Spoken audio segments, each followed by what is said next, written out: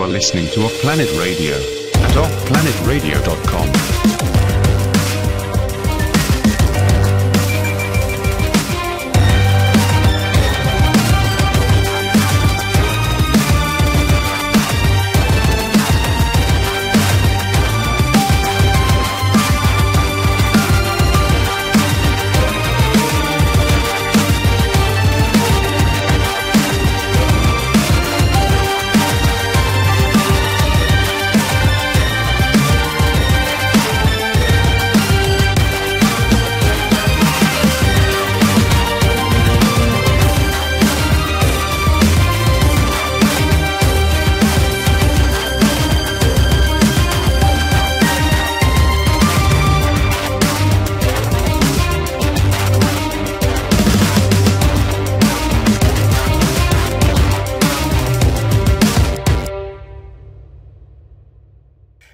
are here in this segment with Cara St. Louis, the researcher, author, um, and experiencer of uh, what we're going to call, you know, here's the thing.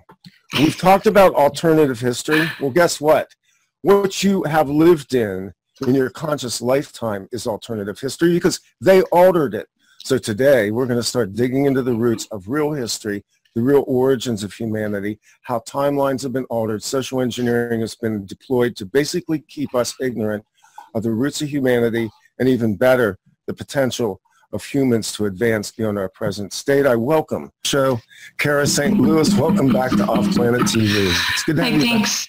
Thank you, Randy. I am so glad to talk to you. I haven't talked to you since last summer, and that was in Maine, and now I'm in London, and and you know, um, I wonder if you would agree if I said the time between last July and now has been kind of staggering um, for you and I. You and I both. You and I have sort of similar um, patterns and things coming at us all the time, and we have similar a similar awakening path and things like that. But that's that's one of the reasons when I have something when I have something that's got your name all over it, which I really do today. You did with this.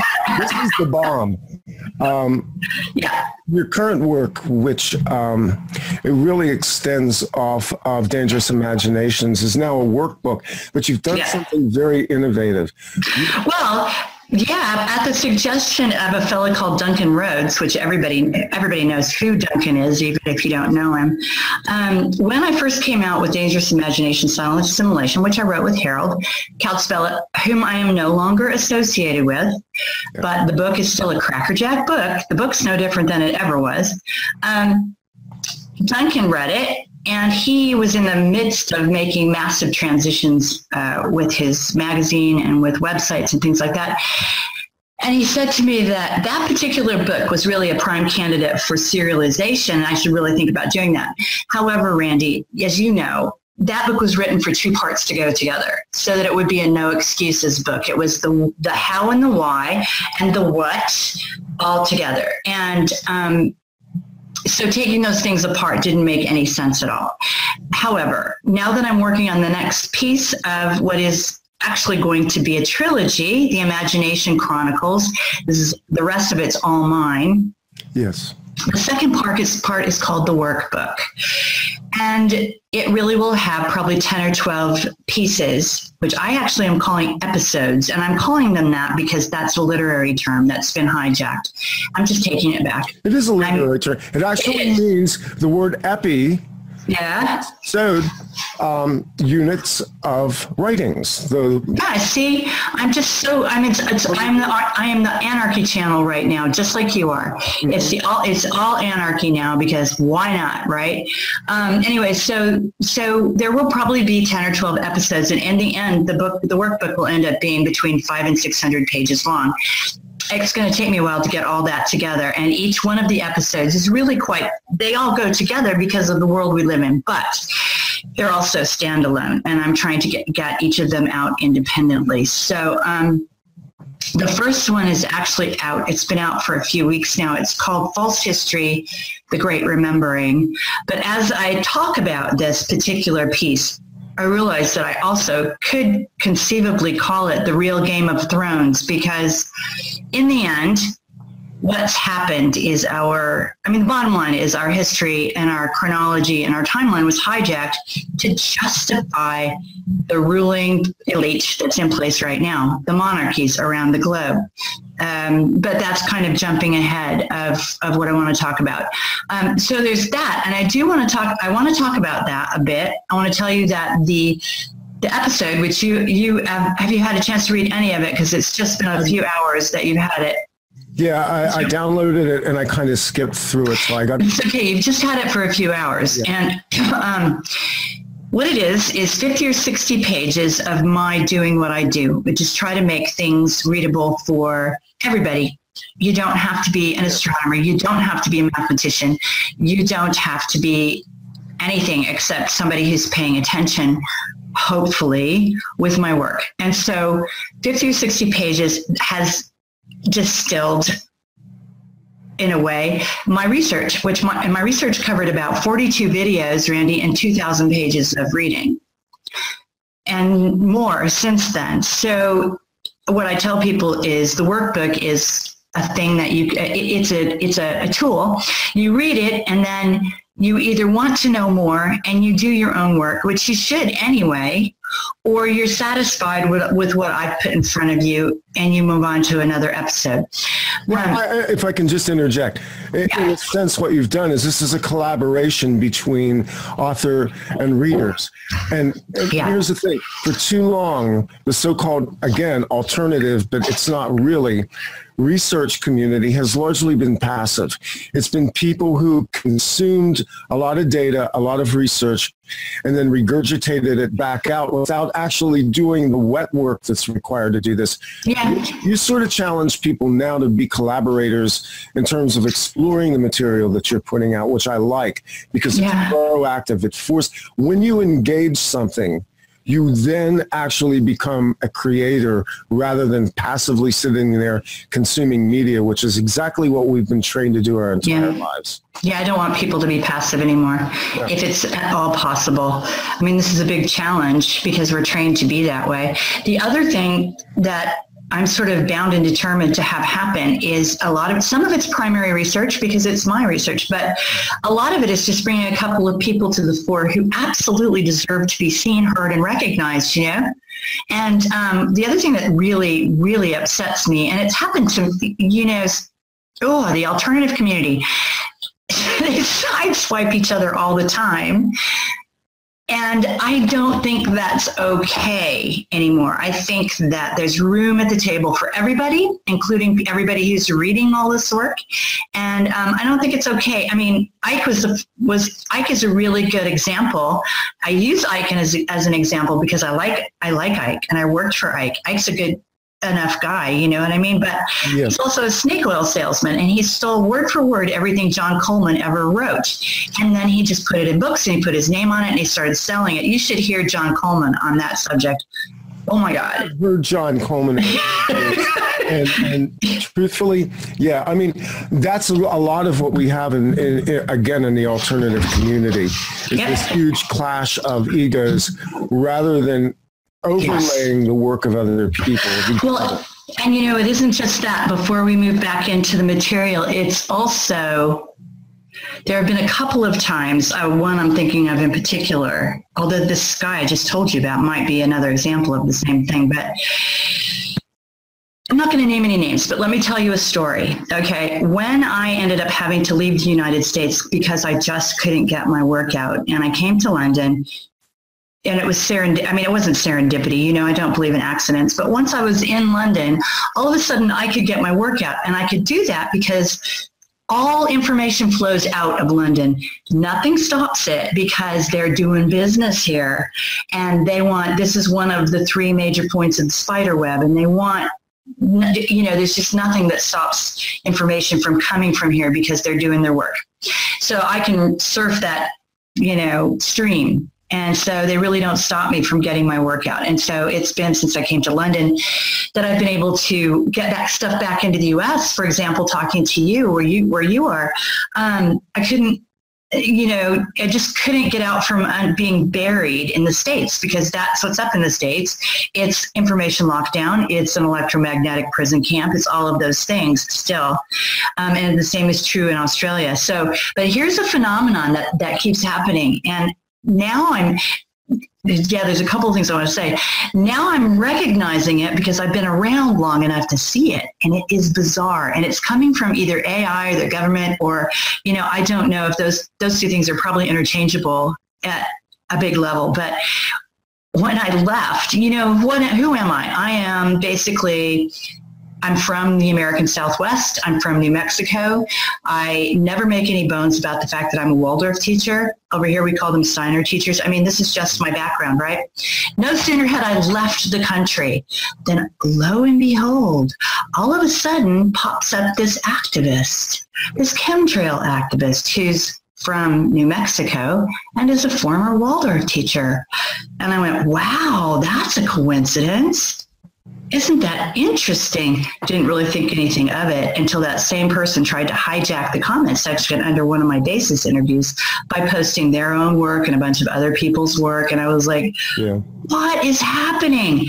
And I thought, you know, okay, so basically, what, you know, it occurred to me at the time that, you know, the powers that be will then re- sort of recreate a persona and deliver the same material, but the way they want it delivered. Do you know what I'm saying? So this keeps happening. It's almost like all of a sudden you'll see a doppelganger of some sort.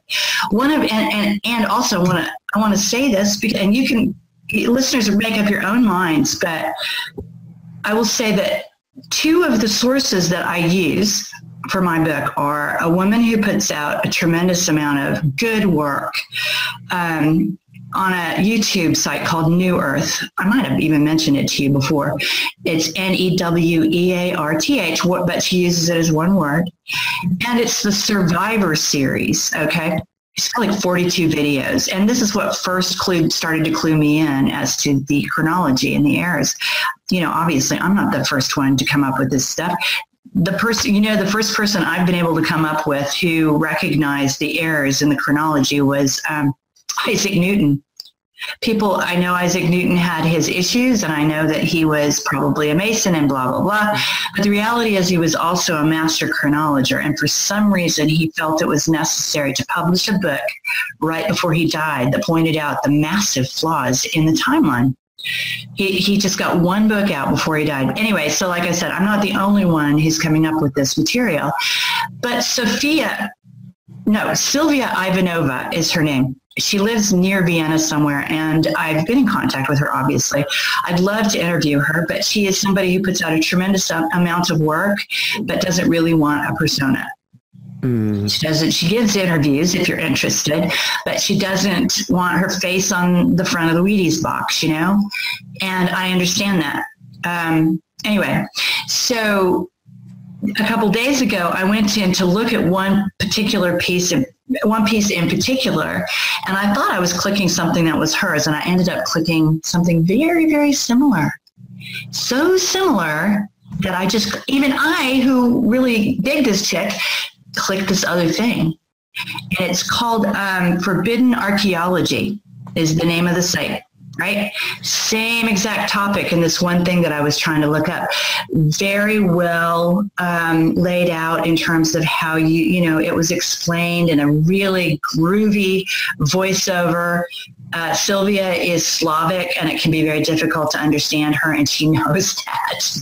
Um, and, but, but the spin on this story was globalist it was massaging the whole story to support the globalist agenda.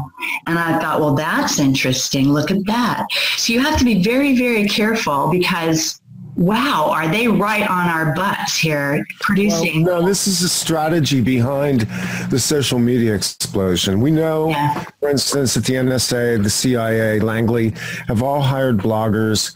They've hired people to go out and post links and basically to create chaos. Uh-huh. Uh, yeah. they, they can no longer suppress the knowledge. So what they've done is they've created diffusion. They basically yeah. created this this cloud in which the unawares have to go out there and somehow pluck out of this this massive trove of data and videos and Right. online blogs um, the actual information.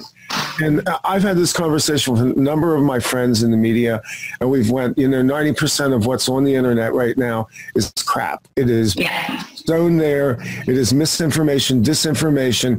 It's designed to take you not down the rabbit hole per se, but Right. rabbit holes that go into other rabbit holes that take you into a central corridor they want you to travel. Right. So be careful out there. Yeah. Be aware. I'm telling you that the original, the one that grabbed me, is New Earth, and it's on YouTube. And uh, the woman is a Slav, but and she's she could be a little difficult to listen to, but she's the real deal. Okay, and start at number one because I've got people telling me, oh, I started at like number 96 and that's way out in the, and it's just, you know, no, don't do that. Anyway, so I'm going to back up a little bit because there are two, like I said, there are two um, researchers that I'm relying on right now. The other one's name is Anatoly Fomenko. And at this point in time, people might, that name might actually be getting some traction because a lot of us are talking about Fomenko. And he's put out a series of history, fact or fiction, I think. Um, he's Russian, okay? He's a mathematician and an astronomer, and he's at Moscow University. And at this point in his life, he's he's been doing this for a long time, like since 1973, maybe. Although he he doesn't appear to be elderly or anything. You know, he's a fairly robust, youngish sort of chap. Um, but he's got a cadre of research with researchers with him now working on the same thing probably 100 strong or better who are all top-notch scientists mathematicians statisticians and importantly astronomers at universities in moscow. And um, let me just make the statement because i don't think you, you kind of made it for me but let me let me start by making the statement that there is such a thing as okay there is such a thing as history. We are taught history in these indoctrination camps we call schools. And we know have known for a decade or better 20 30 years since vietnam came around or since kennedy was killed really that history is spun just beyond belief it's uh, it's spun over and over and over again and it is conjured to support whatever the agenda is of the people who are treating us like herds hurting us this way and hurting us that way They even and all of tried that. to do with something as recent as 9/11.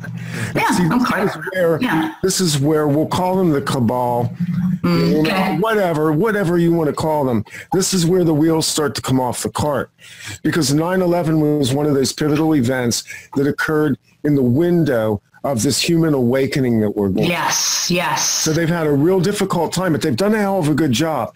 They've pitted all the researchers against each other with various theories right that continue to just disseminate out into the webosphere, creating this Mhm. cloud from which they'll eventually find some alternative stream of history to spin 9-11.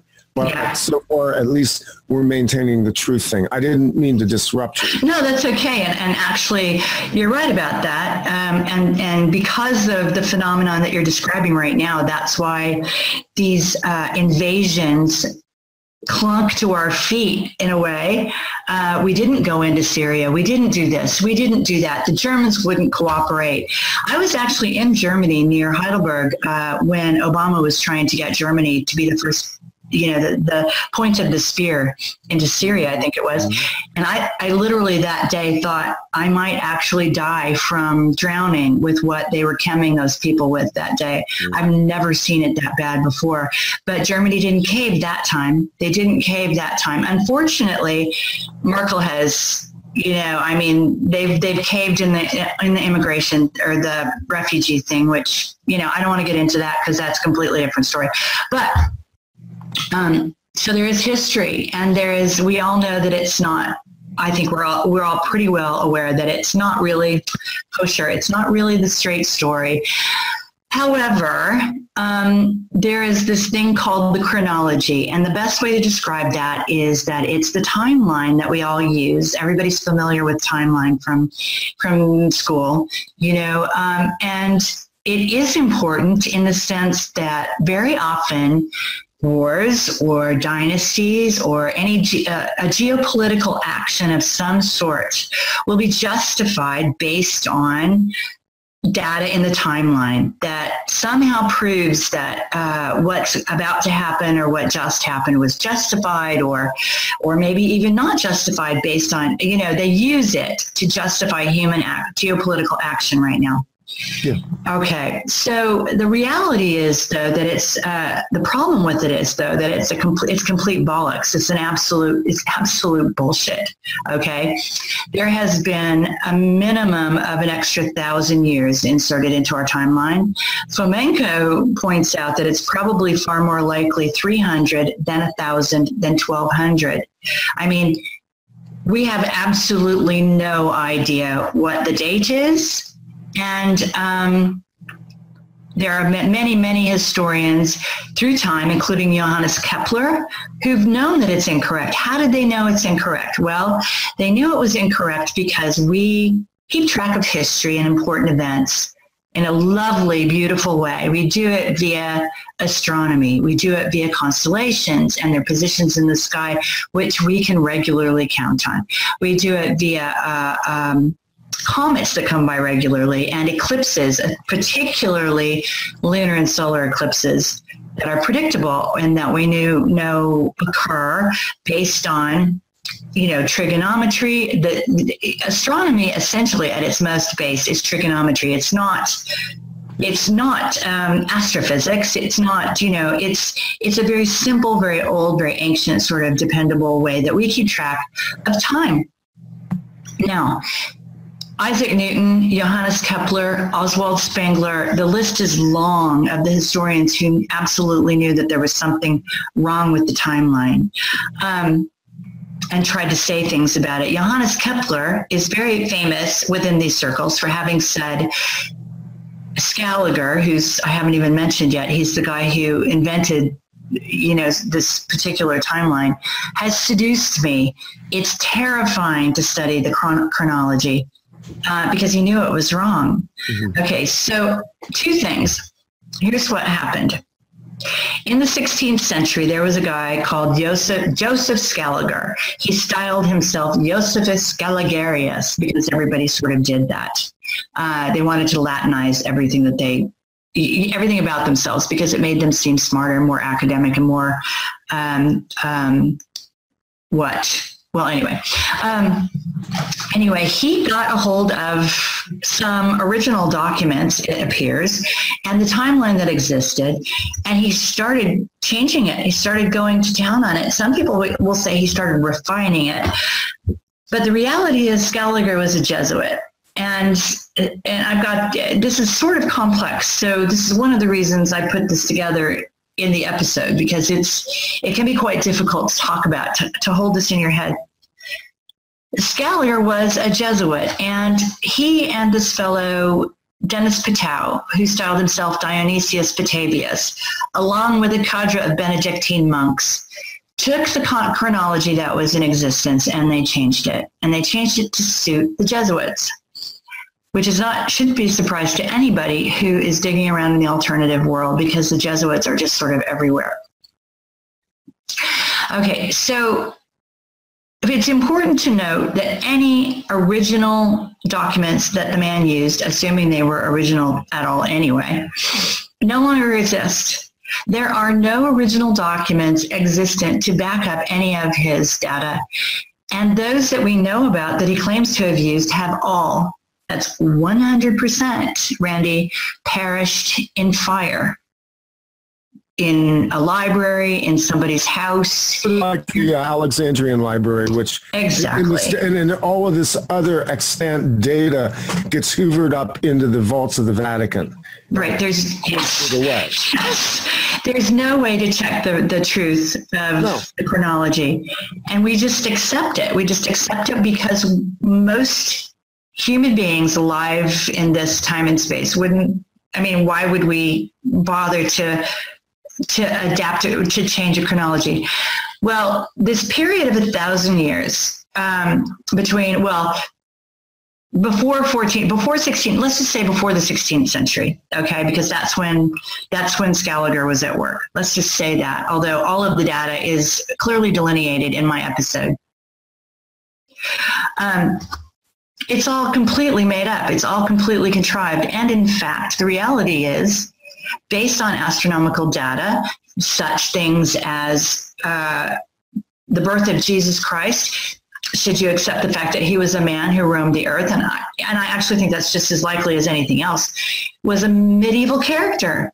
That man did that that persona did not arrive based on the astronomical data that's described as having been apparent at the time of his birth until the Middle Ages. This is a middle. This is what you want to call the Middle Ages. I mean, the Dark Ages. The, the Dark Ages, by the way, is a good description of what this chunk of time that was invented by Scaliger. The Dark Ages between about 900 AD and the 16th century. Okay, that's the biggest, most uh, lie-filled portion of the Chronicle. Now, how was this discovered to be wrong? Well, there, other than the fellows, the historians and astronomers I've already talked about, there was a fellow in Russia called Morozov, Morozov, and he, up until about 1923, was working on this problem. And he was working on this problem because he discovered an anomaly with the way the moon behaved during that period of time. In order for there to be that much time and those many that many events in that period of time the moon would have had to gone bananas and just you know some there's a big anomaly with the the way the moon reacted during that period of time. Again this is something i try to explain in the episode in very understandable terms okay? Because it's you know it can be obfuscated and then you're like okay right i don't know. But it can also be easily understood Morozov discovered that if you just remove some portions, if you remove some portions of time, the moon, you know, just straightened itself right on out. Okay. So what's more plausible, Randy? Is it more plausible that the moon lost its mind for several hundred years and then stopped losing and then just settled right back down? Or is it more plausible that there might be even some mistakes in the chronology, even understandable mistakes let alone some some you know uh, deliberate insertion of time. Um, it's actually more likely that there are some mistakes in, the, in what amounts to a calendar of keeping track of time. So that's that's how. Also, you're talking about pivots on a central fact of this Holy Roman Empire. Yeah, yeah, yeah, yeah. Has been, and and and that's not an insignificant matter because that nope. they've they've obscured themselves they have basically created this artifice around themselves that seems to indicate there were, as you point out in your writings, two Roman empires when in fact it appears as though all of that was a fabrication. Yeah, exactly. There was there was there was a Rome. In fact, you're right about Rome. We do need to that's the first place I went to because so much of everything that we are is based on Rome and our understanding and belief of what Rome was, what how you know mar- they marched across the world and they captured you know all of the things that we consider to be Roman, the justice system, the republic, everything. Okay, our modern world is very much predicated on that. Now they will say in the chronology that there were three Roman empires: one, two, three. Mm-hmm. Okay. The question is when, okay, well, there are two questions. Were there three Roman empires? Number one. And two, when was it? The reality is yes, there was a Roman Empire. It's not nearly what we think it was, okay? Um, first of all, we're much closer to Rome, Greece, and even Atlantis than we than they tell us, than they allow us to be. The survivors of Atlantis really were roaming this planet up to a few centuries ago, it, and they probably still are. We just don't know where they are. Yeah. Um, okay, and uh, Rome, one, two, and three. Rome was was actually founded right on the heels of Troy. And in fact, Troy was an Italian city. It, that happened in Italy. And it's far more likely that Rome was founded by one of the sons of Ulysses. There was no, there was no such person as Aeneas. There were no such people as Romulus and Remus. That's all bullshit. That is all sort of there to then lead us down a different path. Now, one of the things Fomenko did was uh, he's a master statistician. So he created a form. He called it a dynasty form, I think. And there were 35 or 40 uh, points of consideration when he was looking at one dynasty to the next dynasty to the next dynasty. And as he compared one to the next to the next to the next, they literally overlapped each other. He got some he got graphs out of this this data. And they were point for point for point for point for point the same freaking dynasty which one of the, and one of the things that that means is he's proved i mean this, the odds are 100 billion to 1 that he's wrong statistically in my opinion that means he's proved it that the third roman dynasty and the dynasty of jerusalem with jeroboam at the head of it was exactly the same dynasty. And somehow that leads me to be able to, what I'm thinking about right now is one of the other things, one of, one of the points of research for me when I was doing Dangerous Imagination was this idea that the Prussian, that Wilhelm II, the original uh, Prussian emperor had himself declared the king of Jerusalem, and I never could figure out why he would do that. But if it was, do you see how those things can can can go together? I just haven't quite come up with the words. No, they're interwoven. This is yeah. all interwoven. Somehow Jerusalem gets interwoven into Rome in this weird kind of way that mm-hmm. doesn't make sense. The right. thing is, you know, and I don't know if you've looked at this or not. We have problems with timelines on the Egyptian side where we cannot yeah. we keep yeah. finding more kings than there were yes, yes. periods for kings. Yes, have, that's the thing. Then we have sure in the West completely of any history of China, China which yes. is now slowly starting to emerge. But China comes from behind this wall, and we don't understand the overlap. The only thing we really have there as an anchor is Marco Polo. That's it. The westernized yeah. version of Eastern history. Yes. It creates a vacuum into which they've dumped all this garbage to create these aberrant timelines and these aberrant chronologies. Yes, I know that Egypt is thousands and thousands of years closer to us than they tell us that's which does not see that's the thing that's where the truth sandwich comes in yes there are egyptologists out there who are discovering that man has been on this planet for millennia longer than they say but that does not mean that Egypt, the Egypt that we study, the civilization they want us to think is Egypt, is not much closer to us. Those are two separate things. It's much closer to us than we think it is. The other thing is Rome is very close to us and Atlantis. And you did bring up China. I will tell you that Fomenko, Fomenko's work indicates that the Chinese, the Great Wall of China is only a few hundred years old.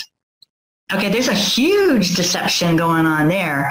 Um, I don't know what the original, what the actual Chinese history is.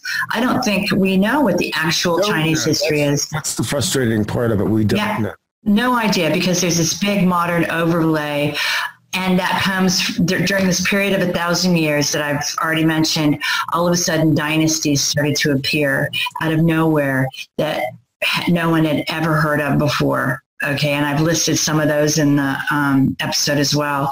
It's difficult right now. There's so much research for me to keep all of this. Yeah. Once I've lectured on this for about six months, I'll be able to rattle it all off. But right now, I'm relying on the writing that I did. I put it down so that everybody could see what it was that I found. Um, so yes, the, we don't know the Chinese history. We know I know that there are many, many. Um, uh, dynasties in place right now that can tr- that trace their authenticity and their right to rule back to this fake thousand years. And we're dealing with an entity. We're dealing with a predator here who thinks in terms of centuries in putting things in place we don't think in terms of centuries. We, especially not now after the 20th century when we've been taught to think. In, no, no, no, We're being shrunk constantly now in terms yeah, of consciousness. I, I just said exactly. I had a conversation with a friend of mine last night, and I said the the the insanity of this technology is it's shrinking human consciousness now yeah. down not into chunks of years or months or days, milliseconds literally. So yeah. we focus. We're as a culture becoming massively attention deficit disorder. It's true. And one of the things that's really important, um, this is why, I mean, I know I've, I've had a couple of uh, conversations where people have said, have asked me, okay, so why do we care about the fact that history, I mean, we know history's bullshit, but why do we care about this? Well, we care about this because this is how our slave masters have justified their reign over us, number one, and it's crap. Number two, the the people who are using the people right now who are bringing this to light that it's that it's a, a big i mean it's a huge lie and i'm from one i'm sick of being lied to. I'm sick of living in their their um, hologram. For god's sake okay? I and um, they're using supercomputing to prove that this chronology is wrong but guess what? The other side's using supercomputing to close the gaps and it won't be very long before we can't we can't we don't have any daylight in terms of seeing what this is and and and, and getting away from it and, and busting it wide open. So it really is very important that we talk we're about speaking about daylight metaphorically there, but we're also talking about daylight literally. Yeah, we are. The solar dimming, the yeah. HAARP, the chemtrails, and all that's going on. All of this is related as you you actually managed to execute a number of hairpin turns even in this first episode yeah. Things that go back to your earlier books. Yes. Obviously goes back to this this whole pivot experience you had with you know the death yeah. of your mother. Yeah she and i had an agreement. When we came here this is what we were going to do. Yeah. and she knew she was going to die and she knew she was going to die that way I promise you, she knew she was going to die that way. I mean, I could I could talk for ten minutes about the hints that she gave me and herself that you know let me know that that was going to happen. And she also knew damn well that I was going to write about it, that I was going to see it, and I was going to write about it. And basically, this is this is we're like bookends. This is what we came into here to do. Um, Yes. So yes, it, it, does go back to chemtrails for, for lots of reasons. And um, I do have to say that one of, the, one of the reasons, you know, if you have a comment section enabled for this, this is, this is where you're going to get slammed. And this is where I'm going to get slammed. But it goes back to the flat earth stuff. Okay. For one thing. Oh, all right. Yeah. Okay, first of all, they're pushing us back to 2D because if you've spent your whole life staring at a screen, a screen is nice and flat, right? And we're coming back. They're trying to bring us back down from 3D, 4D, 5D. We should be going up to 5. Well, we can anytime we want to. That's who we are. Um, however, the, the flat, if you have a, if you have a significant portion of people who can make a loud enough noise about the chronology and how bullshit it is and, and am i cursing too much by the way you're going to be able to show this anyway. No, no, you um, haven't dropped any f bombs yet, so. Okay, well, okay, okay. No, no, I, this is. This is natural human conversation. It is natural human conversation. Yes. Um, if you have enough people and it looks like that might that argument might be getting some daylight, then what better thing? What is job one other than to discredit normal common astronomy, spherical astronomy, because if we're using that to say, hey, look, here's the proof, well, first thing you're going to try to do is discredit that the proof giving, you know, mechanism. And, and the reality is astronomy and the mathematics and the statistics that are being used to prove that the chronology is false are the science that people can be comfy with. You know, I can come and I can say, I just feel like this is, I have, I have a knowing that this is wrong. Well, people will listen to me, but that will not uh, resonate with many of people as proof. Okay. What we've been taught to have resonate with us as proof are maths and astronomy and statistics and all of that, the things that we can now use their weapons. Well, they're not really weapons, they're beautiful phenomenon, uh, astronomy in particular.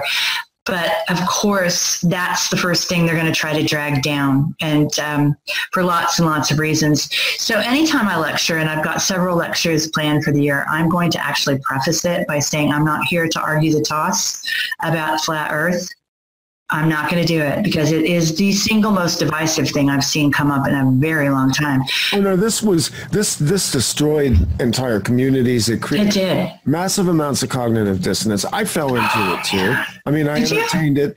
Um, oh, well, I mean, you know, you look at it, right? Well, only from the standpoint of speculation. I Yeah, was of course. to engage the arguments for the sake Uh-huh. of gaining some understanding on it. I mean, I'm not a scientist. I don't have a great understanding of astronomy and you know all of the spherical aspects of things. If you look at where we live, you look Right. well. We're walking around on a planet. I don't feel a curvature, and I got to tell you, some of the science doesn't work. So we have problems, but a lot of it does. And some of it is because, again, there's this distortion.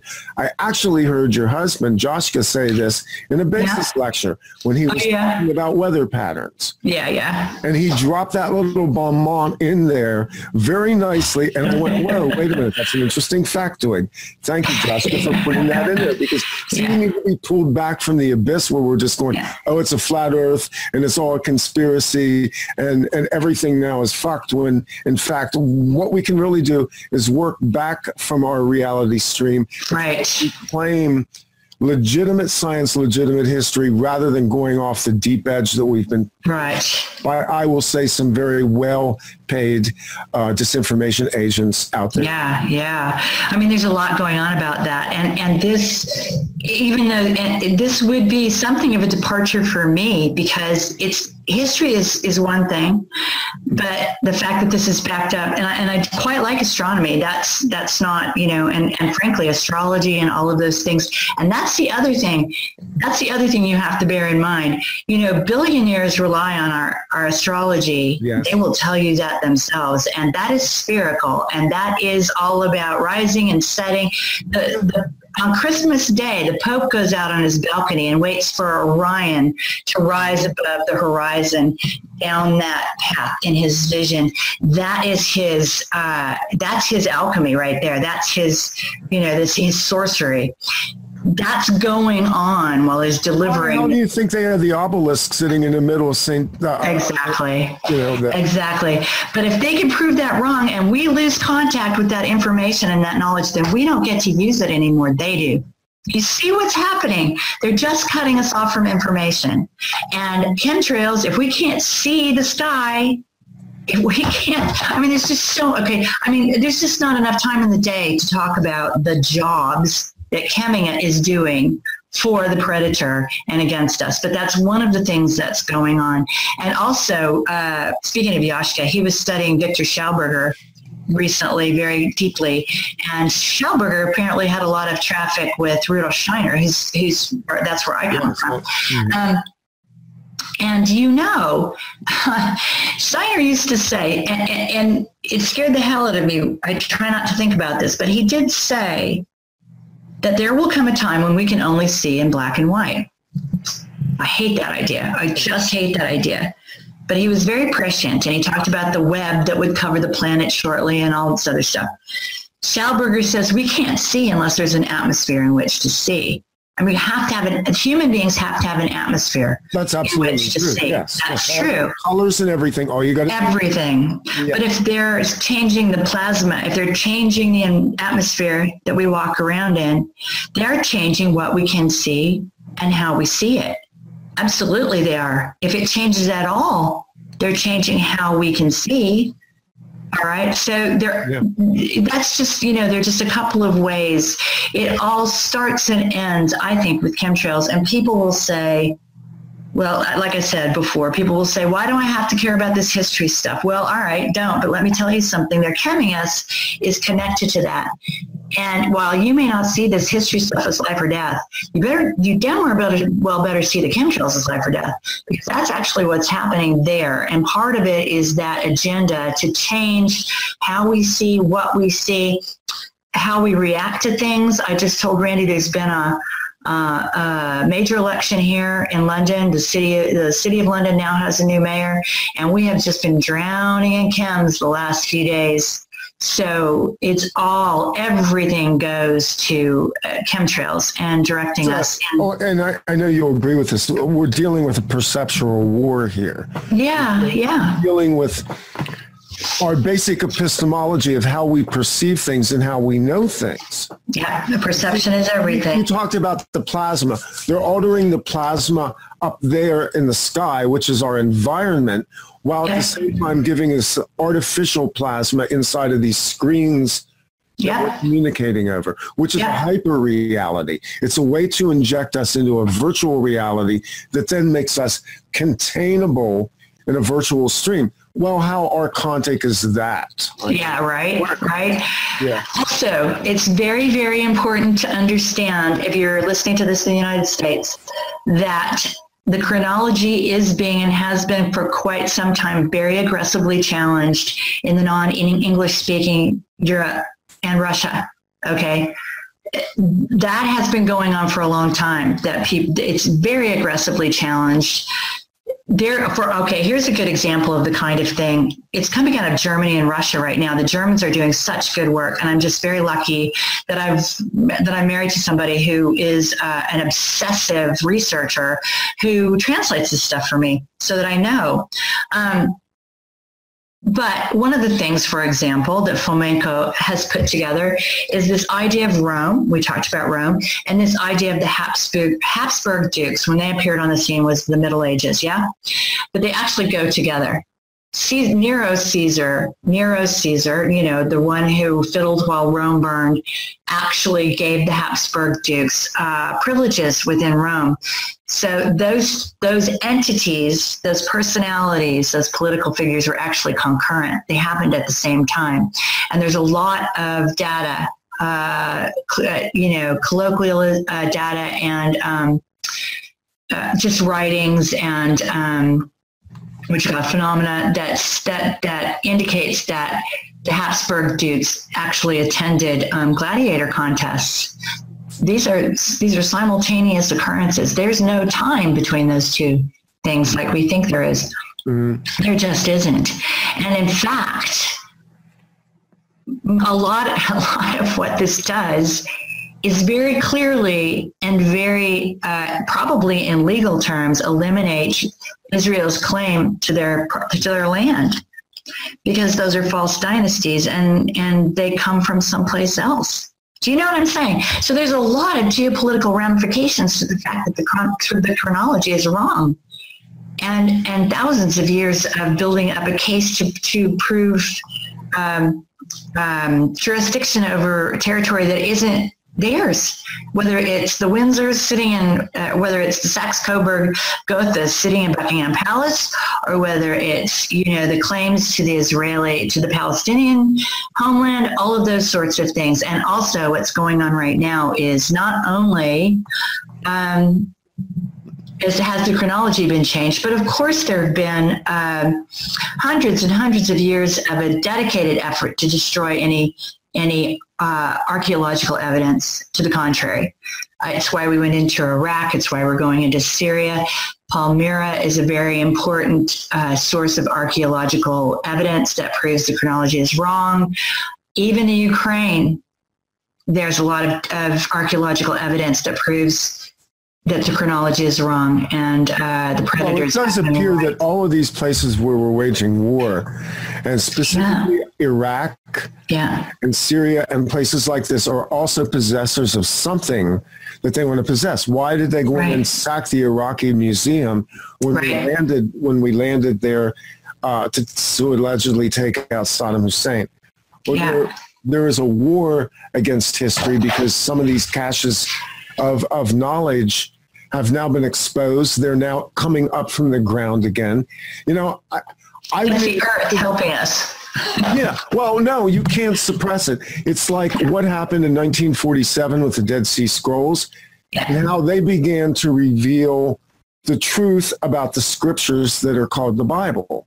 You know, Right. obviously, they can corroborated some writings, and in other cases, you have the Gnostic writings, which occurred, which appeared to make case for um, the man called Jesus, we call Jesus Issa or Yeshua, being um, much more broad-based philosopher and mystic than the literal construct that was given to us by the religious structures of Rome. Yeah, by what by what ended up being the Catholic Church. I mean, you Right, can't exactly. just And it's all Catholic. All of all Yeah. Christianity is Catholic. It's just variants that streamed off of it. So we have the Yeah. same problem even there. Yes, and, and you have to understand that, you know, one of the most important events that happened in, in history, if you want to call it history, I mean, you can't, you can't, you can't use history to make any kind of argument anymore because it's, it, you just can't because it's all wrong. However, there was, there was supposedly this thing called the Council of Nicaea where they literally decided what story to tell that's and then we ran with that's literally what happened. What story are we telling here, guys? Okay, great. Let's run with that. There was no such person as Charlemagne. There was no such person. I mean, you just keep going back. Constantinople and um, Constantine.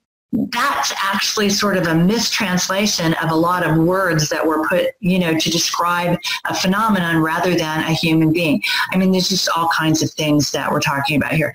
But, let you know, one of the things I want to seg to yes. is um, this idea of the survivors of Atlantis, because that's something that you can look into on the New Earth. Uh, w- within the context of the New Earth research. And also, it will be part of my research um, in the next episode because the next episode is going to be dealing with something, a subject that Randy and I are both very fond of, both very connected to, and that is the the, the um, subject of the Fae, and who are the Fae, and and why are we he and I, and probably many, many other people all of a sudden bothered to pieces about this idea of the fae.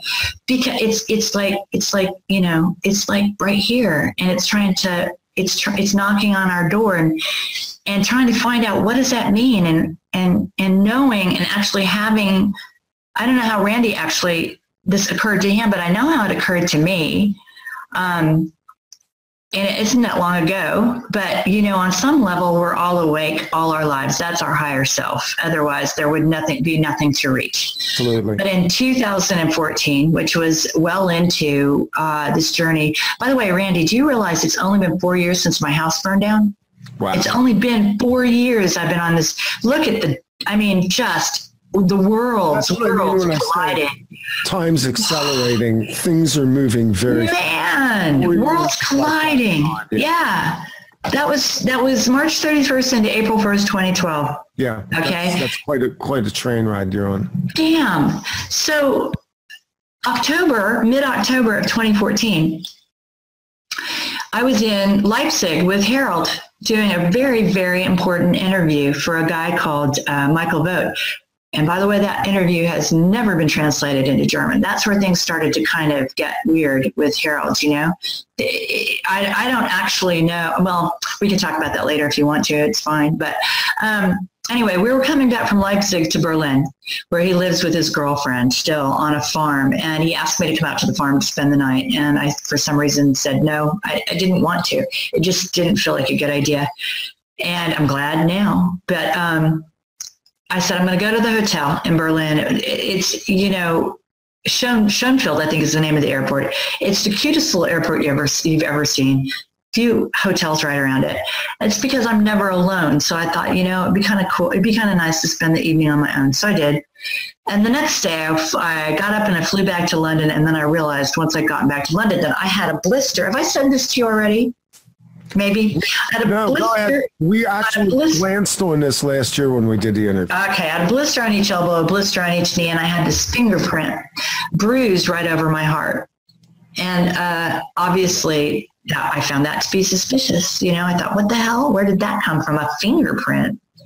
Anyway, so I contacted one of the initiates that I work with in the United States, and he said, well, they were just checking on you.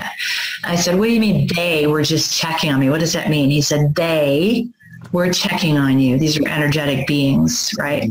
And uh, someone put a hand right through your chest to check to see that your heart was okay. I said, all right, fine. Well, that that's because there's this massive protection around these kinds of things. Um, anyway, so the same initiate said, look, you are part of the Fae. You're part of the Fae. That's who you are and I and and from and that meant almost nothing to me because I had no information about that at all.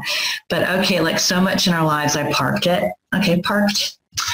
But as I went along, it kept coming up. It kept coming up. You know, I would talk to Maria Wheatley, and she said she'd seen because it's not just the Fae come from two directions, Randy. They come from out there and they come from up from the ground. They are wedded to this planet in ways that we, at least I don't yet understand. Okay. So they are both intra and interdimensional. And recently, recently I had one of the best discoveries of my life.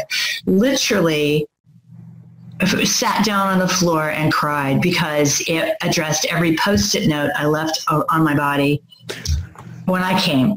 And that was that in Germany, there's this fellow called Erhard Landmann.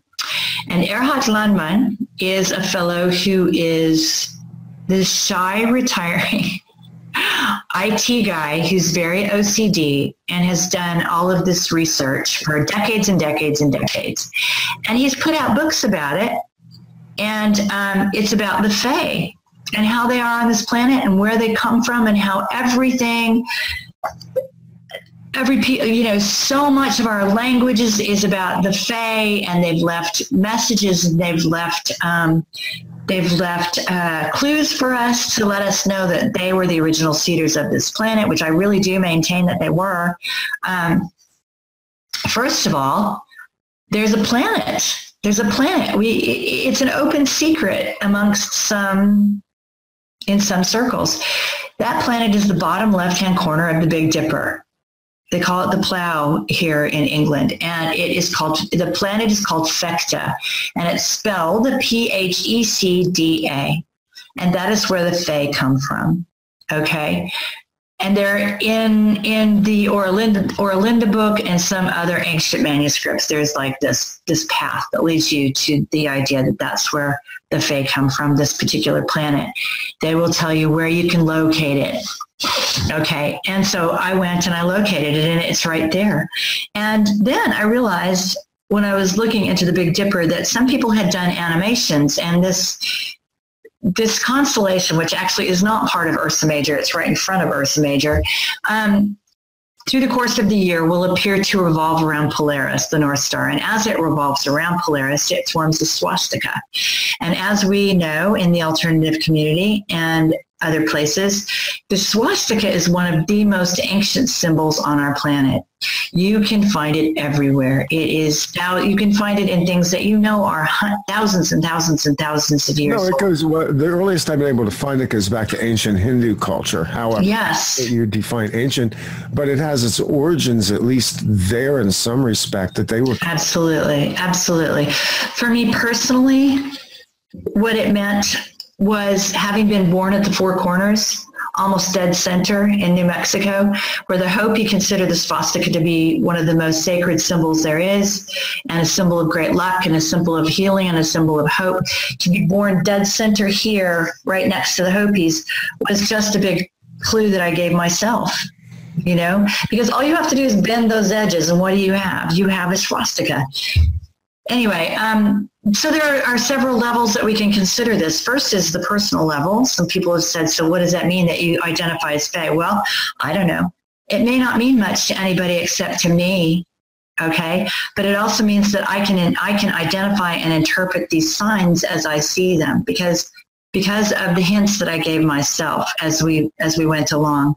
There is uh, that will be episode two. It's going to be all about the Fae, um, all kinds of words that you come across, whether they're spelled F E or P H E or uh, F A E. There are stories that go back to the original Fae. One of them is an Irish story that I just came across. Somebody somebody contacted me and said, "There's a story I have to tell you that most people don't even actually hold in their consciousness. It's an ancient Irish tale, of course, um, and it's the Battle of Moytura is the name of it, and it describes a landing. It describes the Tuatha Dé Danann. If you're into into megaliths or you're into Irish culture or you're into ancient peoples and druids and things like that, then that name probably means something to you, but they are considered to be some of the original uh, uh, um, settlers of, of Ireland. And then that this particular story talks about a um, people, I guess, a race, let's call them a race, that either comes from under the sea or over the sea called the Fomor. And in this oral history, which you can actually hear uh, if you go to YouTube, Megalithomania, Megalithomania 2009, there's a fellow called Robin Williamson who does that tale over the course of about an hour. Well worth listening to. The oral histories are the only ones you can trust now, guys. I promise you. Yeah the oral histories, those that have been passed down for millennia. Anyway, he does it. It takes about an hour to listen to. And he talks about this race that either comes across the sea or from under the sea. They have one arm, one eye, and one leg. Okay. And the way it's described in the tale is it's one eye to covet with, one arm with which to grasp, and one leg with which to trample. Now, if you're not talking about an invading predator, in in that description, I don't know what you're talking about. For me, that's an original seed story with the Tuatha and a description of the landing of the predator or perhaps the infection, the archontic infection on this planet. So it's really well worth a listen. And I will try to analyze that story as best I can right now for the second episode. Now, um, the Fae go to all of the tales of, for example, the white women. There are tales in Portugal, Spain, you know, all the Latin American countries talk about the white women, the women in white. Okay, let's talk, let's let's call it the women in white because if I say white women, I think that might be a little bit misleading. The Catholic Church turned that took that over and turned those into stories of sightings of Mary. Okay, when we talk about the Fae, we often are talking about the divine feminine. I I don't have a, a, good enough grasp on how the divine masculine comes into this, but I will, I promise you, because it's coming to me and it's coming through me, and I'm being led to these places that we can call confirmation that all of us at large can look at and say, ah, yeah, okay, that's confirmation. I get that. Okay.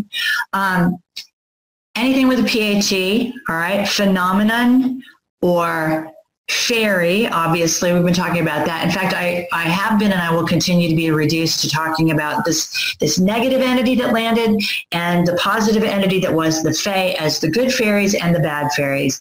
I, I do that because that's how we that's how it's come to us. Um, Both of them seem to have. I don't quite know how to put this. Okay, so my concept of the Fae early on was largely the elementals. Yeah, that's what I remember. That's my connection. Right. right. Elementals back in a time when I lived in a place that was very connected and close to nature, those were entities that I understood as a child. Randy, you just keep keep going. and yet, at the same time, you have you have the the predator, which also has assimilated itself into some elemental form because of the black goo, the um, the dispersion of this negative energetic into our our system, our, our, our global system and even yeah. our bodies. So we're dealing with things that are operating on micro and macro levels. That's where yes. I'm with that. Indeed. And actually, while you were speaking, it just clued me in. I mean, you know how that happens, right? People will, when you're talking about something with someone, you go, oh, there it is. For me, the Fae are both things. They are deeply connected to this planet in ways we don't that are so deep there are no words for them. And they also have a planet of their own. And I think that they still exist there. Uh, I think they still exist there. Okay, these are my thoughts. Uh, I await proof one way or the other. However, do you know when I, when you were just talking just now, talking about the elementals and those things that were deeply connected with the earth, I believe that there are still Fae on the planet, and there are those who have become part of the planet, entered into the planet. Yeah. And if you want to know perhaps something of a spun story, but maybe not, of the Fae on this planet, what happened to them, it's part of Lord of the Rings. It, it's part of that that deal it really is. And when they talk about going into the West and diminishing, they're really in for me my heart says that that's the fae becoming part of literally becoming part of this planet they are being brought they're being brought to a modern consciousness now because of the threat. Like you said, um, there's a there's a, there's there's this squabbling going on over this planet by various races that are not the original seed race. They have tales that would make us believe that that's the case, right? But it's not true. It's not true. And again, this could be another reason why the chems are being put into the air. Maybe something someone is returning. Maybe there are, you know, people say it's the Anunnaki, but is it? I don't know. You know, eh, what if it's the Fae coming back? I don't know, but something, there's something, everything that has to do with chemtrails is about hiding or dumbing us down and making it, dumbing us down, drugging us. I, that's a better way to put it, drugging us such that we are unaware and unable and things like that. So this is when you were talking about the elementals, it, it helped me come up with some ways to describe what I'm trying to say, which is that some of the Fae are part of this earth. And frankly, that's where I resonate. And you just said that's where you resonate, which is why it was very difficult for me to describe what I was trying to say because because what I'm trying to say is they are so they are so part of this planet and so connected to this planet. It's almost like they just became symbi- it's symbiosis in a way yeah.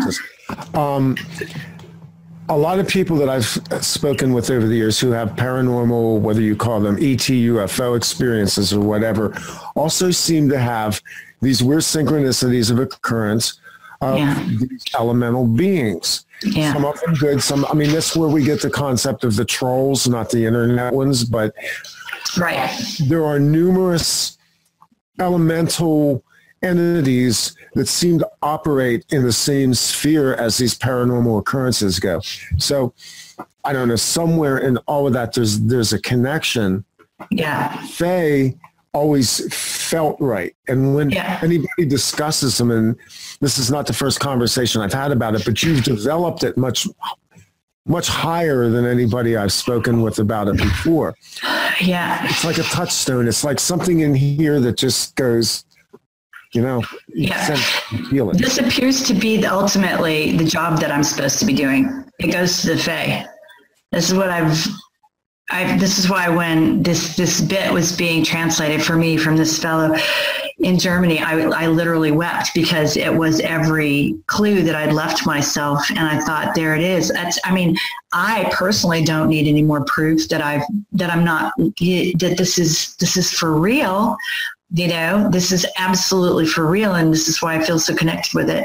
But i'll tell you another one and this is do you feel it? You probably already feel a shiver going up your back because i just felt it. Um, when my house burned down i lived on temple street okay That's- i lived on temple yeah i know it was on temple street yeah. when my baby brother died and that was i think not supposed to happen i think that was something that shouldn't have happened. Oh, my kids are just saying happy birth, happy Mother's Day in the corner. Sorry. Um, happy Mother's Day. Happy Mother's Day. Yeah. Um, okay. My baby brother died in 1993 and he lived on Temple Street when he died in, a, in Colorado, not in Maine. I mean, the odds there are astronomical if you ask me.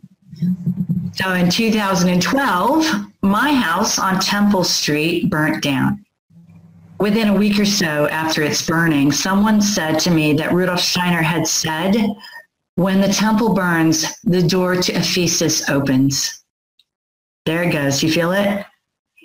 That's E P H E S U S.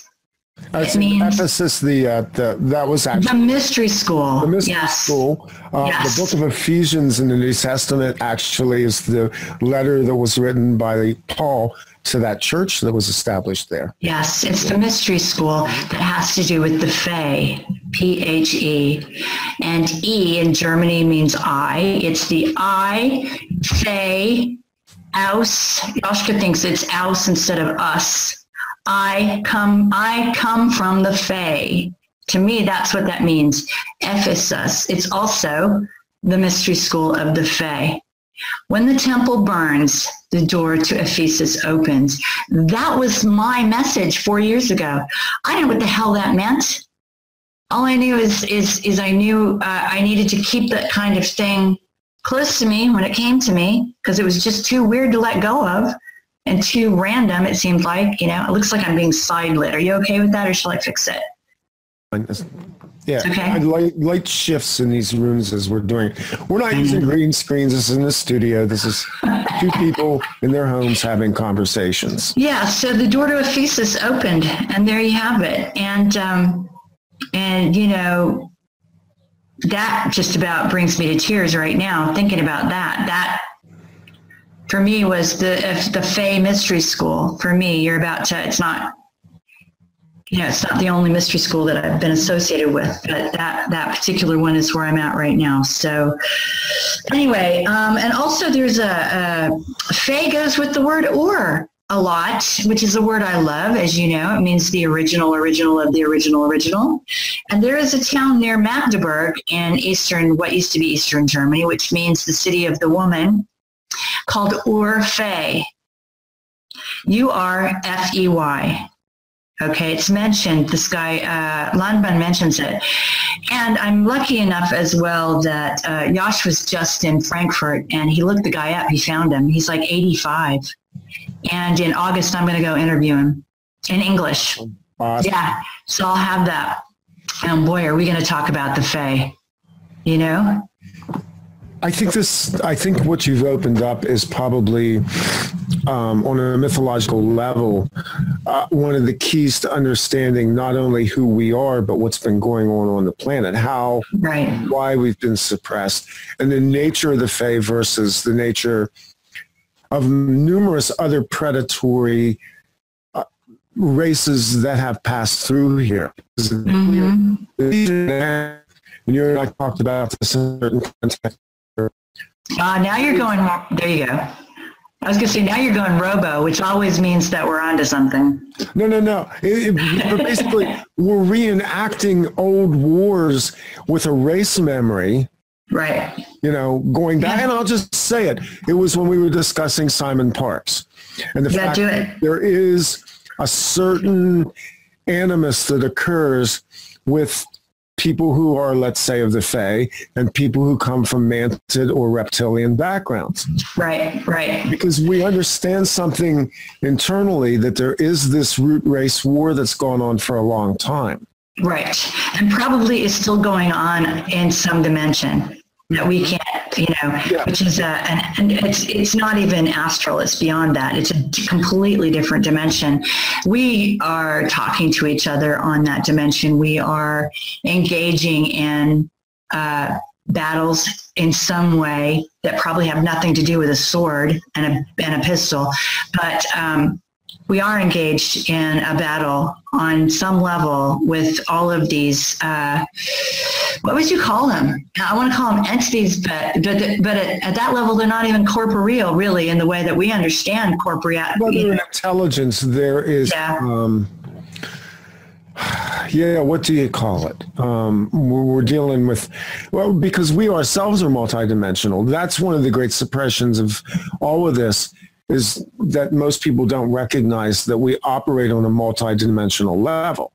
Right. At any given Right. time, we are multidimensional beings operating on multiple timelines and multiple streams of reality because time begins to break down once you move out of the 3D, 4D realm. Right, right. You know, um, some of the other clues that I got, uh, I'm not going to be able to uh, do them justice here because I really need to write it as an episode. Although you can read an article that we translated uh, from Landman on Vortex. It's called "The Women of Fae," and I sent you a link, Randy, if you want to if you want to look at it.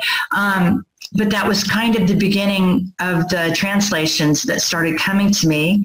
Uh, vortexcourage.me. Go look for the Women of Fae. You can read some of what Landman has already talked about. And also, Yashka's onto something with him um, because Landman has access to Old High German, which you have to be old enough and you have to have a, a real understanding of German to, to have any access to Old High German or, or what things stand for or any of that.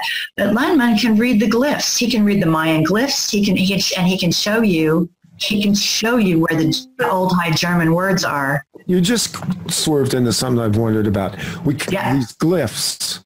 Yeah, I mean, yeah. look at look at Tolkien. When I studied Tolkien and in a literary class, I studied the stories, but I studied the glyphic expressions and the maps that he had in the. Yeah.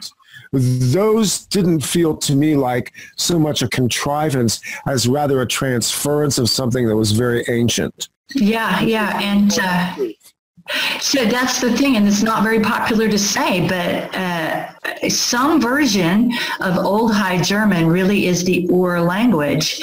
And people wrote all over these buildings, the Mayans or whoever it was, all over the planet in Old High German.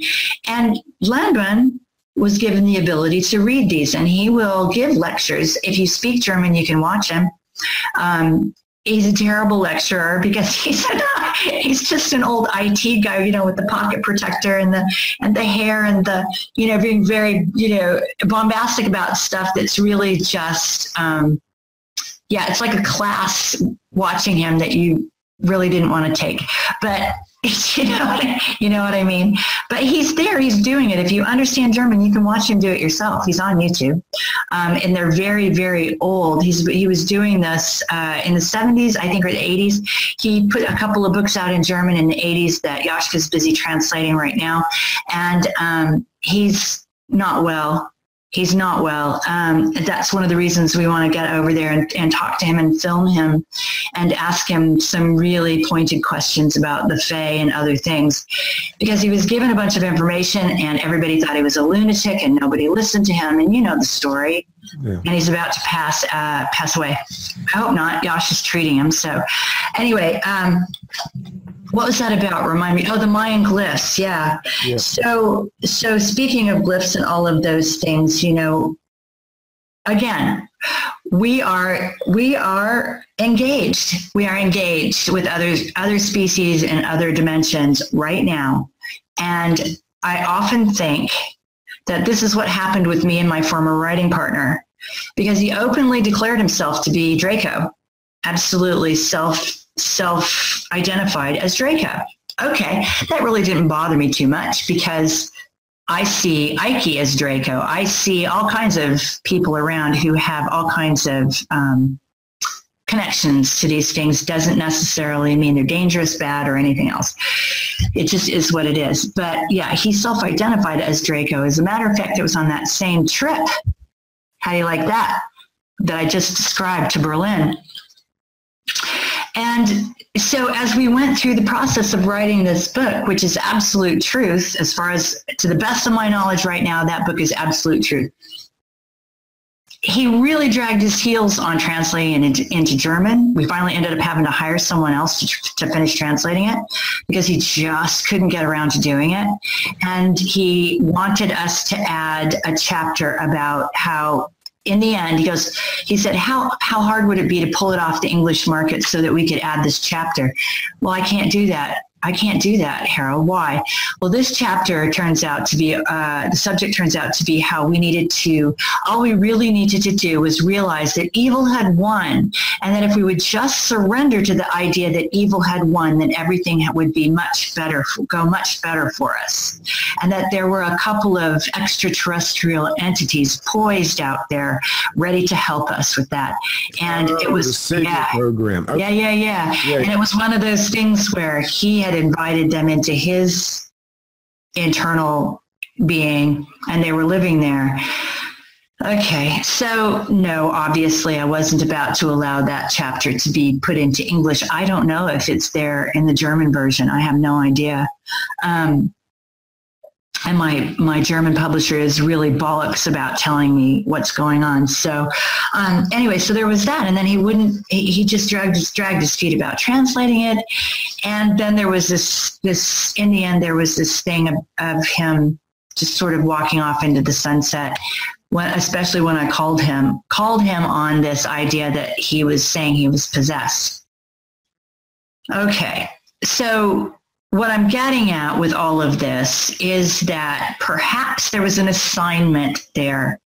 Perhaps he was assigned to watch this process unfold, to try to stop it, to try to stick his foot out, to do whatever.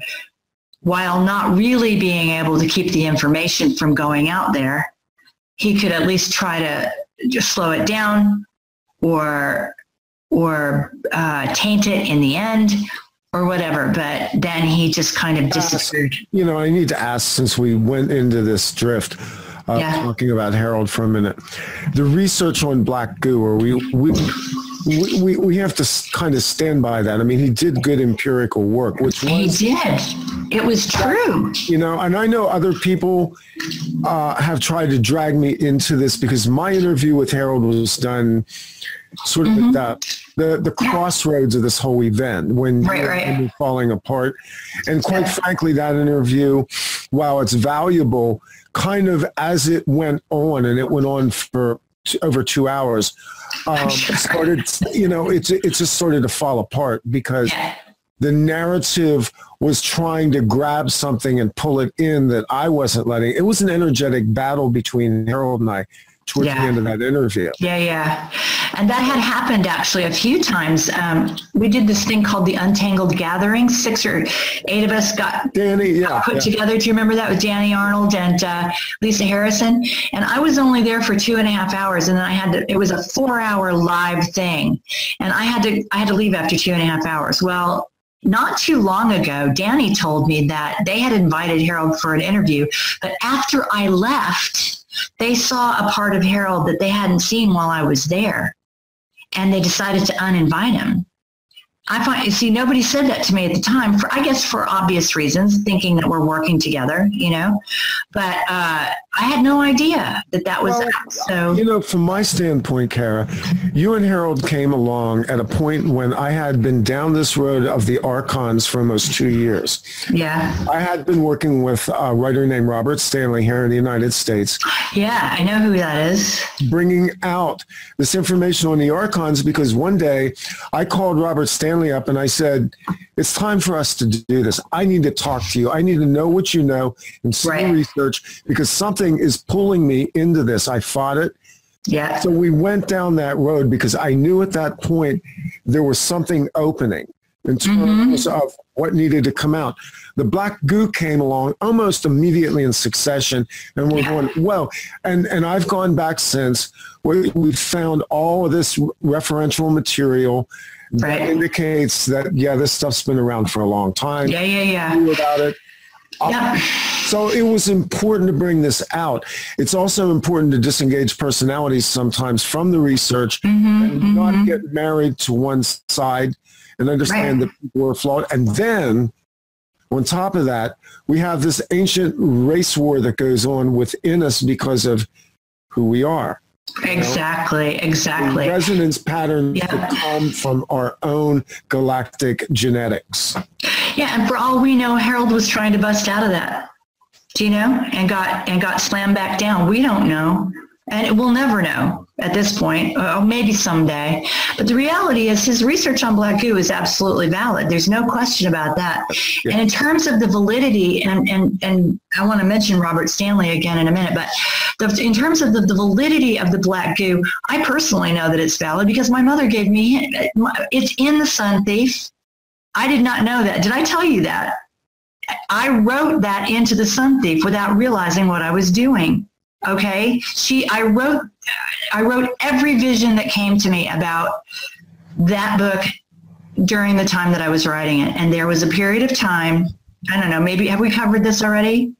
Maybe not. Um, there was a period of time when uh, there was a vision where she was sitting in an office building. This is in the Sun. She was sitting somewhere, I would assume Virginia, based on the way the office looked in terms of military break room kind of thing. You know, there was a long table, there was a sink, there was a fridge. It wasn't very fancy, that kind of thing.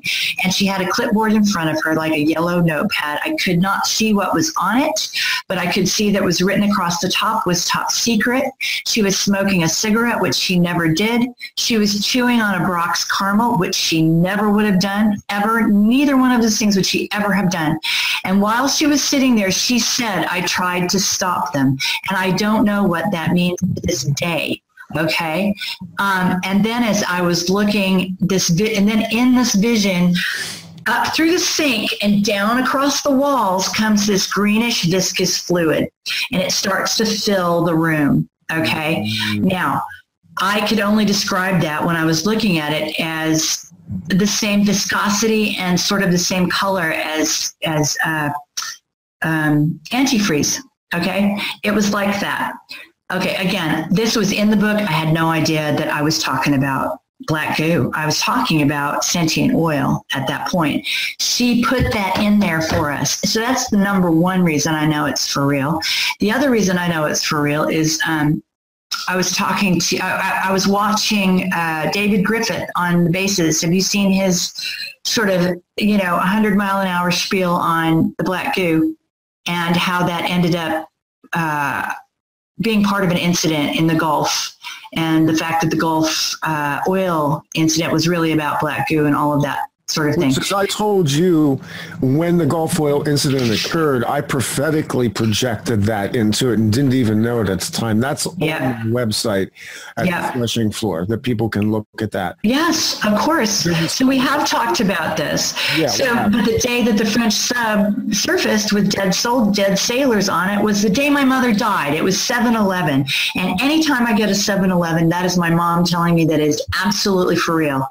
You listen and you pay attention. Anytime I get a 7 Eleven, Okay, so I mean, so yes, it, we're talking about Harald. Yes, absolutely. His research on the Black Goo, his research that's in that book is absolutely spot on. It's still a crackerjack book, but the struggle, whatever the struggle was, whatever ends up being, whatever's driving the man, you know, um, I've been told that by someone who looked at him, somebody who's very talented, uh, clairvoyant and healer, who had Harald right in front of her, told him to his face, the only thing that's keeping you alive right now is the fluid in your spine.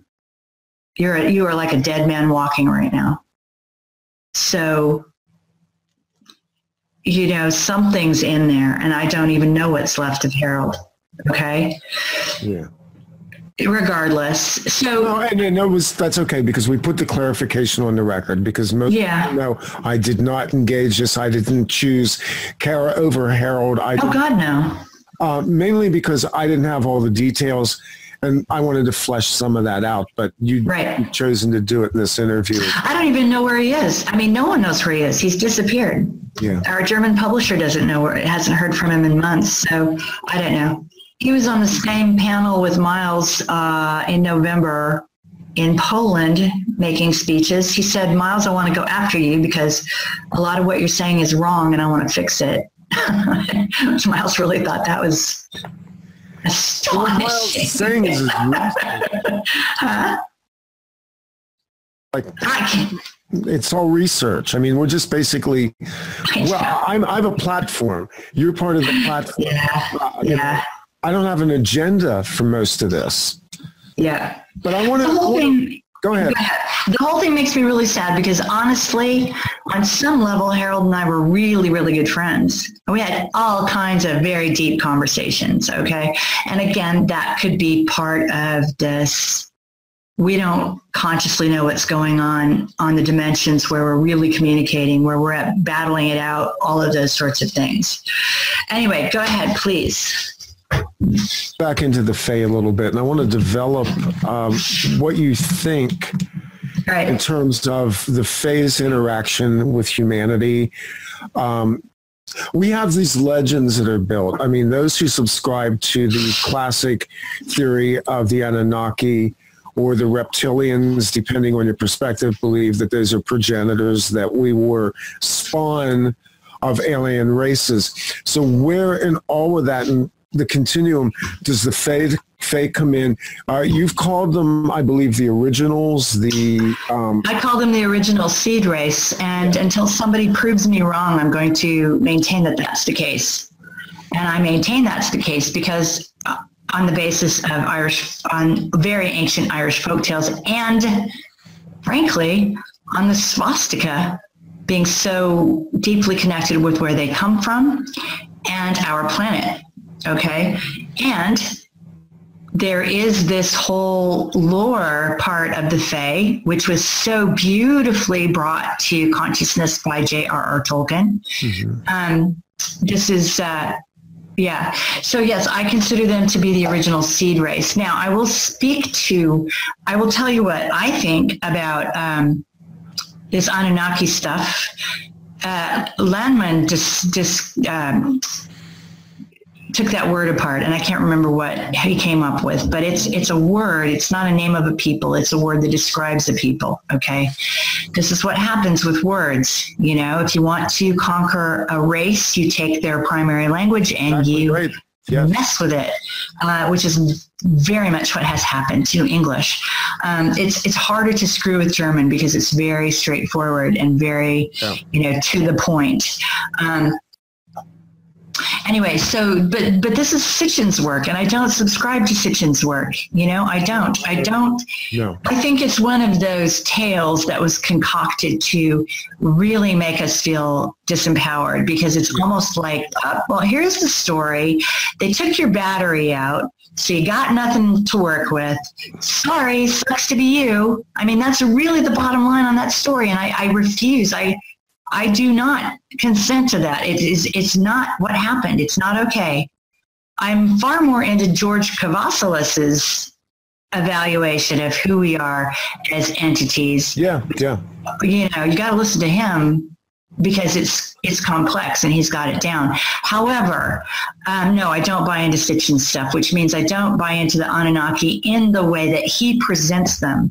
Okay, um, there's always a grain of truth to everything because if there weren't truth, if you don't have if you don't park the truth somewhere, you, the lie can't live, and that's just black magic, and that's just one of the only things Simon Parkes ever said that I repeat, which is if you can't, you've got to park the truth. They've got to tell you what they've done. Otherwise, the black magic doesn't work. Okay. Yeah, that, that's old uh, Masonic lore. I mean, we've it's old stuff. Anybody that's a researcher knows. Yeah, it's old stuff.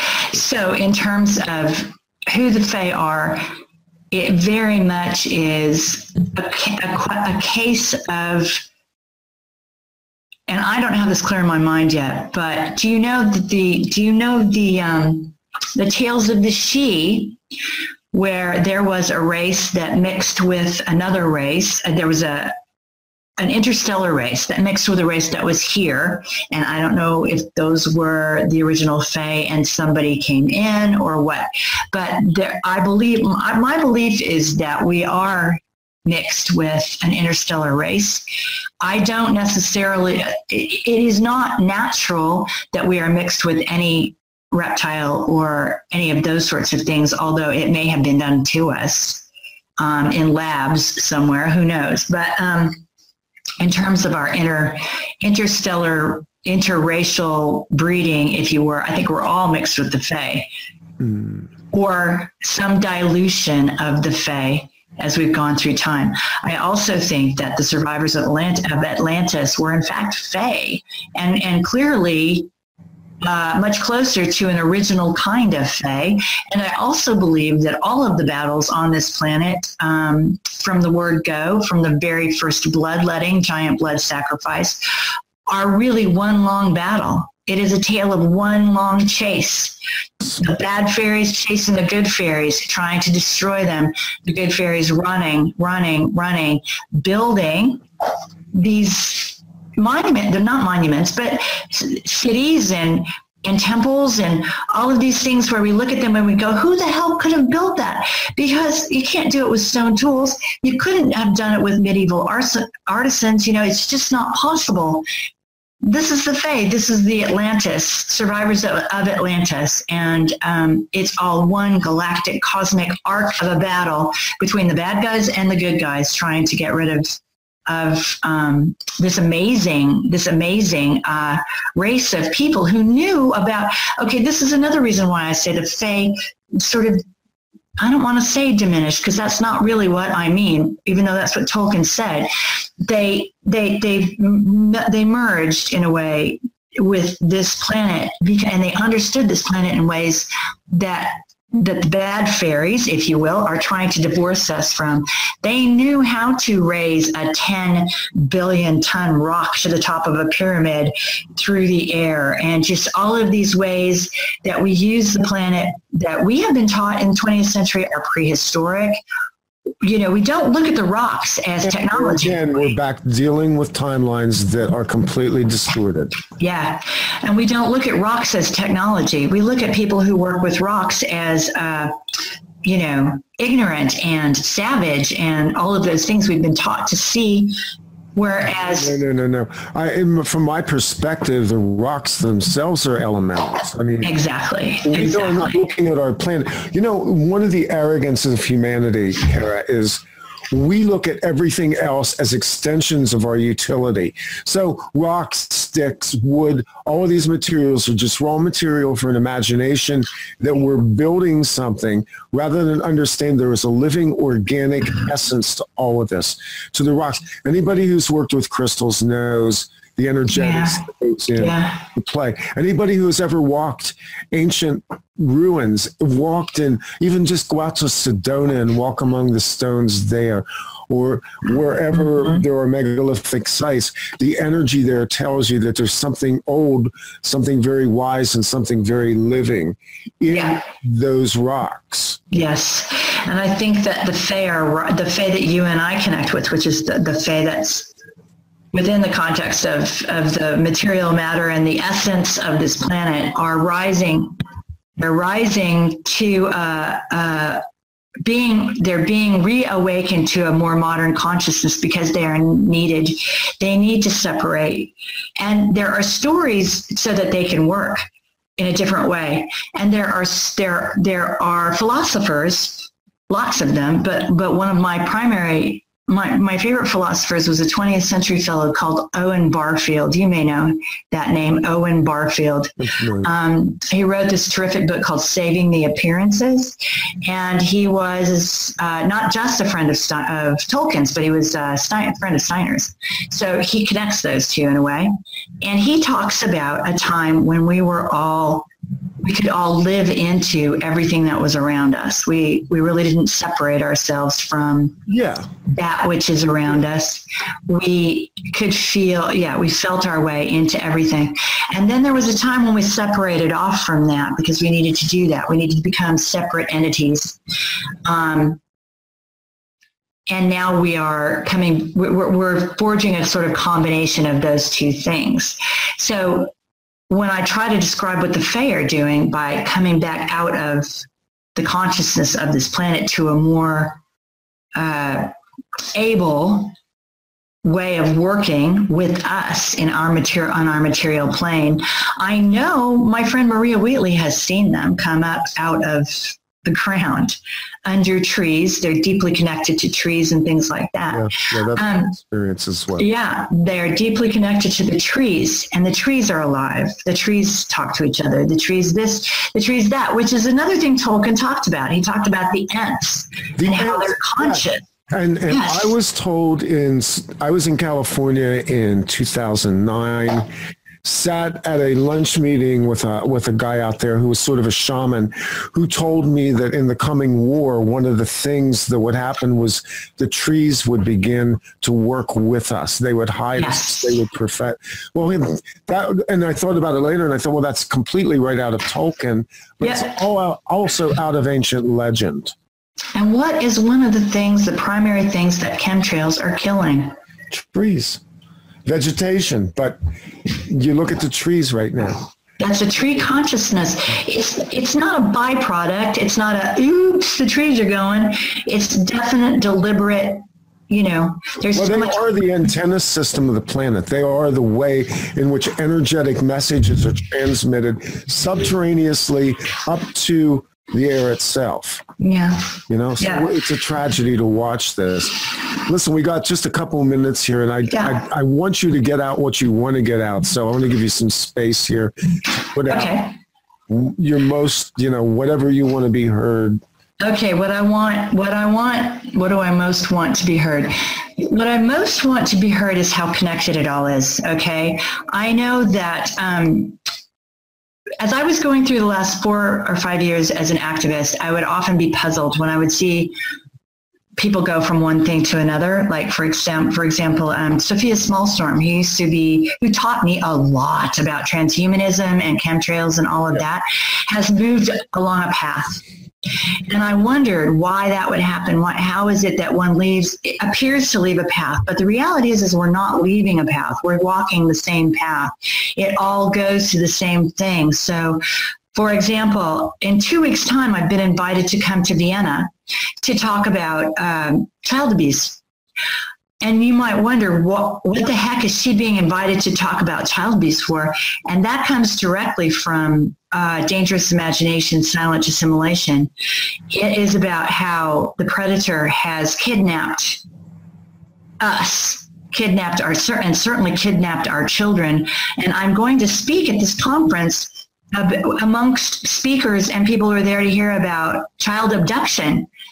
So isn't it interesting to see how these things all come together? It's all of a piece. Everything that's happening to us on this planet that's coming to us via the predator is all of a piece. It's all one long campaign that began with the first big bloodletting okay because they feed on the this is the archons you know you talked about robert stanley i just saw him for the first time the other day he's talking about the archons being um, about what being like um, amoebas mm-hmm. did he and and getting into us in that way and that you can't for example buy an infrared you, you can't take pictures in the infrared. That filter is disabled on any camera that you buy. Because if we were taking pictures in the infrared, we would see things we didn't like. Well, I grew up in the era of film cameras when you could buy infrared film. The fact is, ah. you can, through firmware upgrades, actually restore that function back into digital cameras. You have to find yeah. the right hacker. This yeah. is important because, again, certain spectrum are being disallowed to us via the right. transformation of our senses. Yep, and via the changes in the plasma around us, which changes the way we can see. That's Viktor Schauberger. That's Schauberger. Okay, so see how chemtrails goes to child abduction, goes to um, the Fae returning, goes to, it's all of a piece. And we can't know the truth until we identify the lie. Okay, that's why those some of us are bringing you um, this kind of thing, like the false history. And because I know that most of the people on this planet don't want to read 2,000 pages of Anatoly Fomenko's beautiful, brilliant work, I've tried to put it into 50 or 60 pages so that you can get a handle on it and you can go with it wherever you want to go you know, and it will create these paths in your brain and your understanding and your heart, your mind, and you will have knowings and you will have epiphanies and all of the things that you're supposed to have on your path. That's what this is about. Okay. You are, you are playing a big part of, of, of you're a big part of the piece, a big piece of the puzzle in getting, you know, getting um, this world restored. I, for one, don't want this. What I, for one, do not want to hand this to my children. Okay. I don't want to hand this crap to my children. I don't even know how much longer they have if we don't fix it. Okay. Because of the poisoning of the air. All right. So it's really, really important that you get on board, that enough of us get on board. Somebody said to me the other day, well, you know, there's a significant portion of, of the population in the United States and elsewhere who will say, yeah, yeah, yeah, yeah, and go back to, you know, watching the game and eating their Doritos. Yeah. Yeah. Okay. That's fine. I, we will believe for you until you can believe for yourself. It doesn't matter. You went. You went. I was muted. That's okay. Pivot, the pivot for changing a culture is not the majority. It is somewhere between three and five percent of a given. There you go. Let's go. Let's get them. Let's get them. Actually, right now, hitting critical mass on this planet. I've had this conversation with a number of people, people who I consider to be sort of my inner council. Yeah. All convinced this is the war right now. This is why the chemtrails, why the vaccine, why the autism, why right. are we being stripped biologically, psychologically, spiritually right now? Right, right, right. They can't stop what is occurring yeah. on this planet. Yeah, and we're going to put a stop to it. So, okay, all of my work is out. I'm going to shamelessly say right now that Randy will probably put a picture and a link up of my latest work. Yep. It's not expensive. It's just an episode. Get it join the conversation. Okay. Please join the conversation. Let yourself know what the truth is consciously. And the next one that comes out is going to be about the Fae. And I think that's really, really, really important. Okay. And maybe when I get back from this child abduction seminar in Vienna, I will knock on Randy's door again because I have a feeling there's a reason I've been invited to this. I mean, that's pretty out there. I know you know? there is. I know there is because Yeah. I tell you, Cara, there is an avalanche coming of people who are going to begin to leak out what has been done to them as children. Yeah. Yeah. Because we're not, we're not going to let this next generation suffer this. Yeah, and I'll tell you something else. I don't think I've ever said this to you. Maybe I have, but when I was seven and my little brother was five, my mother took us to the University of Oklahoma to participate in some kind of study. Now I'm remembering, I'm trying to remember this. Okay, it's, I am 50, almost 57, so it's been a while. But of course, this has always been in my in my somewhere in my consciousness. I knew this, and in return for this study, we were going to get free vaccines, whatever that means. I think I came out of there with my smallpox vaccine. I'm not really sure. Anyway, what I was told was that that was actually the U.S. military starting a starting a gene splicing study on me, and it was unsuccessful. They could not splice my genes with anything. But I will tell you, Randy, I don't have any, I have no recollection of that year. It's gone. I don't know who my teacher was. I don't know what school I went to. Do you know what I mean? It's just. Oh, I do know what you mean because there's a lot of us that have that. I, Yeah. I include myself in it. Yeah. And I am contacting more and more people, or they're contacting me, who have similar experiences of lost time, Yep. A whole year gone. interaction with government military agents. Yeah. Um, like I said, this is an avalanche that's occurring because it is. and those memories will come back if they're needed and Yeah, if they're needed, and if they're not, they won't. suppressed. They're It's that suppressed. simple. Let's face it, who wants to remember all that? Right, right. Now, and seven is a very important year. Yeah. So, yeah, so I, uh, all I know for sure is that the gene splicing attempts with me were unsuccessful. So that tells me something about the Fae, my relationship to the Fae as well. I don't think, I just think they couldn't do it. That may actually be a key component of the things that they're after. That aspect Yeah. of us connected to Yeah. the Fae and how Yes. unique we are. Carol, Yes. this has been such a wonderful interview. It's good to have you back. Please, let's not make it so long. No, but you know, you're busy and I'm busy. You're busy. Everybody's after your show. Emerging, emerging research that, Yeah, that is coming I do. out. I do, and and when I get the Fae episode done, I will send it to you as soon as it's as before it's even published, and I probably will um, knock on your door as soon as I'm back from Vienna. I, I- I'll be more red the next time. When, now that now that the material's coming out. now. Oh, it's fine. I, I know you're you uh, know it in there. But intuitively, I know this is You know it in there. that you and I connect with each other, and it's been a marvelous conversation. Thank you. Thank Uh, you so much. out so Okay, it's www.vortexcourage.me. That's one word. V O R T E X C O U R A G E. I do have an author's page on website, uh, author's page on Facebook. Um, Cara St. Louis. Go there. Um, everything you can find everything on Amazon, even if you live in Canada. I had started a uh, a place where I was trying to get books the rest of the world where they will only put out Kindle, like Australia.